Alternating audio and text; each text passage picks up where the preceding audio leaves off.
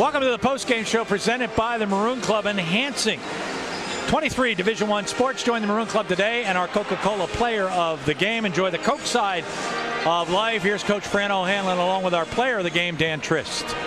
All right, Gary, thanks a lot. Head coach Fran O'Hanlon. Let's talk a little bit about traction. It almost seemed like having a scoring run in this contest against probably the best defensive team in the Patriot League was almost impossible today. Yeah, they did a great job. And we had some open looks, uh, Dan, but, you know, they sped us up and maybe maybe the shots weren't as open as I thought, you know. Uh, but you got to give them a lot of credit. They, they came out with the big rebound, the big shot when they needed to. Uh, you know, Kempton hits a three. I mean, it's they're they're a handful. Absolutely. You know, at the start of the game, you mentioned Kempton being really challenging. It's tough to game plan against him. The guy standing to my left, Dan Trist, did a pretty admirable job, along with some help from his friends. Yeah, he did. I mean, uh, it was once again, it comes down. It's a, a one, two possession game. Uh, it's uh, kind of the Patriot League this year, Absolutely. and um, and they did they got what they needed, and we didn't get what we needed at the time. Kempton and Trist was one matchup of interest. Ross and Lindner was another one. And uh, to his credit, Nick Lindner really kept the team in a close contest down the stretch. Yeah, I mean, they're two very good point guards, you know, and uh, the league has a lot of good point guards, and uh, they're two of them. And, um, you know, and they're both young. So they're going to be uh, having some battles for the next couple years.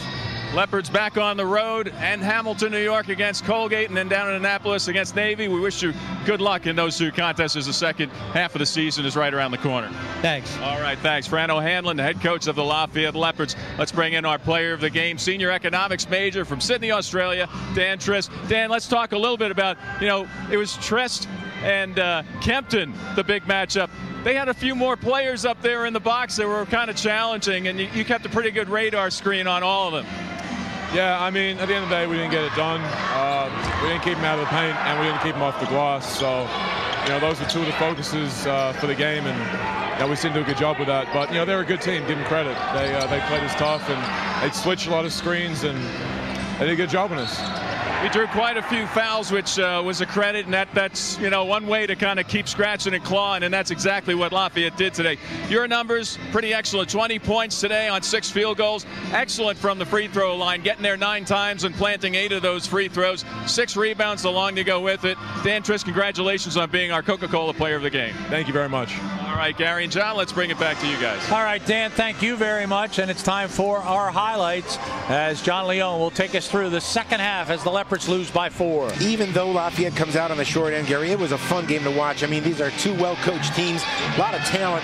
Nick Lindner doing his best to hold up his end of the bargain in terms of his offense. Here's a little step back after he hits a game-opening three, and then he shows you how many different ways he can score by getting to the rim right away. But, you know, Gary, this was the big issue for Lafayette all afternoon long. Justin Goldsborough, Jesse Chuku, and Tim Kempton just dominated around the glass. And again, look at the up and under move by Goldsborough. He was a force all game long. And watch a little drop step, and he finishes with the left hand. In the second half, Austin Price kind of took over.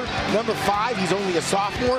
At 6'4", he's got the ability to knock down jump shots and the guard skills to take it hard to the rack himself. And Austin Price had a huge second half, a big three there. Every time Lafayette crept close, it seemed like Lehigh would come back with a big three. Monty Boykins off the dribble drive from Nick Lindner knocks down the three. And look at the hustle from Zach Rufer. This was the kind of game it was, Gary. There was any one play could have tilted the balance one way or the other. Nick Lindner continued to penetrate and get to the rim, keeping Lafayette close. This was huge. Lafayette up two at the time, shot clock running down. It looked like Lafayette was going to force the turnover and have a chance to tie this game. That three by Kempton pushes the lead back to five, and Lafayette was chasing from there on in. Yes, indeed, John. That big three was really a critical, critical shot in the ball game. For Lehigh, they're 75 points on 26 field goals. They were 8 for 14 from beyond the arc, but the number that really stands out, they were a perfect 15 for 15 from the foul line. Five players in double figures. Kempton with 11 and 10 rebounds, a double-double.